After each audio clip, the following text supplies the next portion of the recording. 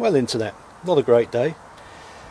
It's a nice day out, there's blue sky, it's not too cold, and it's a nice day for a drive. So me and the wife went to Stamford, did a little bit of shopping. We like it there.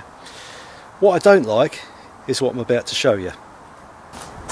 We was out in the S3, um, and planned to give it a wash this afternoon, but uh, went uh, went into Homebase in Stamford, and uh, as we came out, a very nice young couple came out said, uh, "Oh, we've just captured something that's happened to your car, and this is what's happened to my car."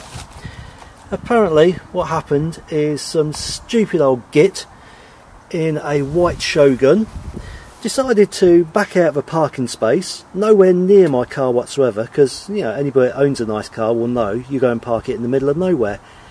So he basically backed out, went across three or four spaces in the car park, hit my car, rammed into it, as you can see.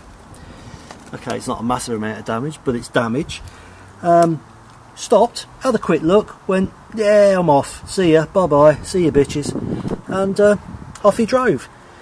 And like I say, fortunate for me, uh, there was a really nice couple who, when I came out to the car, said um, what had happened. And they caught the registration and they caught a picture of the car itself and it's been reported to the police.